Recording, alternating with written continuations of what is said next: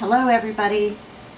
The cucumbers had been collected on June 21st and I know I said approximately two to three weeks curing but seeing this it reminds me to keep an eye on the squash and cucumbers and I've decided with that spot showing up and the good color change I'm going to go ahead and prepare this for seed collection and I take the knife approximately uh, a quarter of a way into the cucumber. I take out a little wedge that'll allow me to break the cucumber open and not damage any of the seed inside. With a, a big nice serving spoon, get it into a bowl and gently scrape out the inside just like that comes out relatively easily. Now I have a pile of seeds and goop. If it has large plant material that the seeds easily are freed from, I remove this. And they will, it'll come out pretty easy. Then I have a jar already prepared because I'm going to be doing such a large amount of cucumbers, I have gone for approximately an eighth to a quarter cup of water and then with a nice wide canning funnel I put those into the jar for fermentation.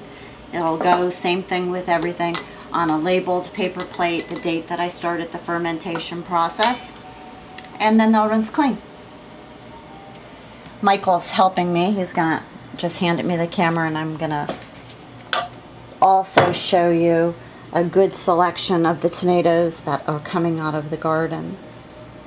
And I'm not going to butcher the Italian pronunciation of the sun-dried tomatoes. And these are the wonderful little pear-shaped yellow tomatoes. Livingston Gold Ball. No matter what kind of uh, heat watering conditions.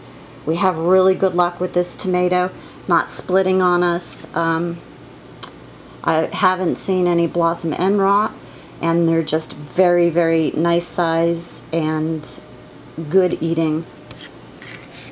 I'm going to see if I could get the difference to show up on the on the camera of the coloration of the Marion variety.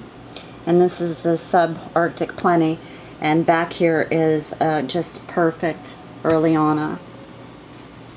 I like this Marion for the flavor, just so far just un unbeatable.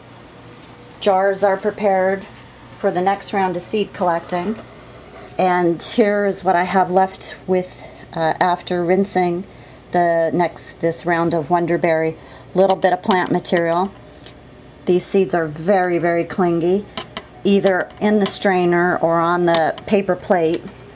As you can see, it's already been well used. Uh, that's when I go ahead and try to get the rest of the plant material out. And these dry rather quickly too. Sorry about the camera work as I'm trying to pay attention to my fingers and get these seeds seeds off of me. It also brings me to uh, saying that, that the cucumbers are a little early for the time frame that I told you, so keep an eye on what you have going on. And this is uh, Earliana, and it was date. It's dated 6:30, and here we have the um, the white frothiness and mold starting to show up.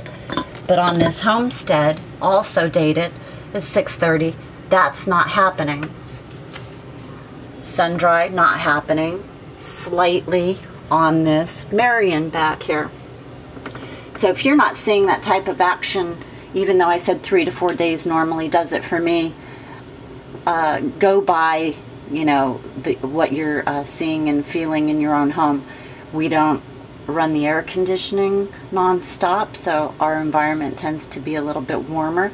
If you keep a cool house, this might take a little bit longer for the fermentation. You might be going four to five days. Okay, I'll come back with more on helpful tips. Thanks for watching. Have a great holiday weekend. Arrivederci.